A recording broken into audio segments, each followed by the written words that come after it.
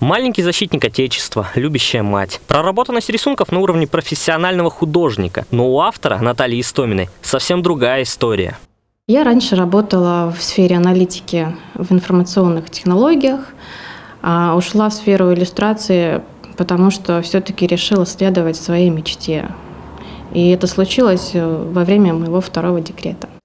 Она мечтала рисовать еще в детском саду. Тогда ей подарили книгу с картинками диснеевских принцесс. По ним маленькая Наташа училась основам детской иллюстрации. Детская иллюстрация, она направлена на именно изучение деталей. То есть много деталей мелких, которые ребенок изучает, рассматривает, делает какие-то выводы. Взрослая иллюстрация, она больше направлена на какой-то смысл, какой-то посыл.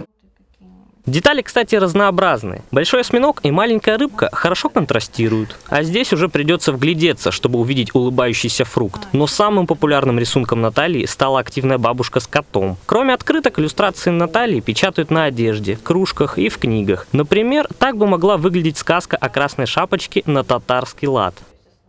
То есть вы видите тут необычные русские пирожки, как принято, да, а эчпачмаки. Там салфеточка с татарским узором. И хоть опыт небольшой, она уже готова делиться им с детьми, ее главной аудиторией. Это называется черновой эскиз. Я намечаю примерно, как она у меня будет выглядеть, какой формы.